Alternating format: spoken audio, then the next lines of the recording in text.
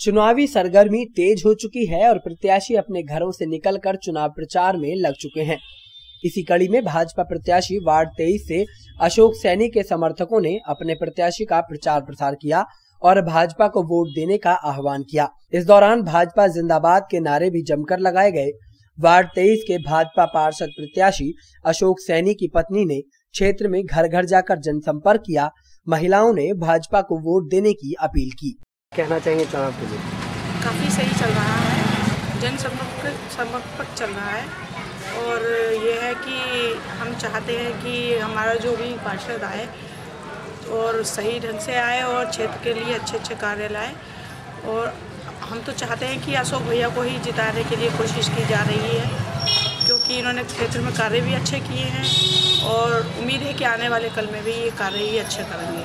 क्षेत्र की जनता से क्या अपील करना चाहिए क्षेत्र की जनता से यही अपील करना चाहती हूँ मैं कि क्षेत्र की जनता जितनी भी है, यहाँ पे अशोक भैया का साथ दें और अपना पार्षद चुन के अशोक भैया को, उनको विजयी घोषित करें। काफ़ी अच्छा रिज़ल्ट आ रहा है। क्षेत्र की जनता जागरूक है कि अशोक भैया को ही जिताया जाए, बीजेपी को लाया बहुत बढ़िया चल रहा है, जनता का भरपूर समर्थन मिल रहा है और हर जगह यही बात हो रही है कि जो हमने पाँच साल में हमने काम किया है, हमारे अशोक भैया जी ने बहुत बेमिसाल काम किया है। किसी भी काम को, हर समाज को साथ लेके चले हर जाति को, हर धर्म को साथ लेके चले हैं।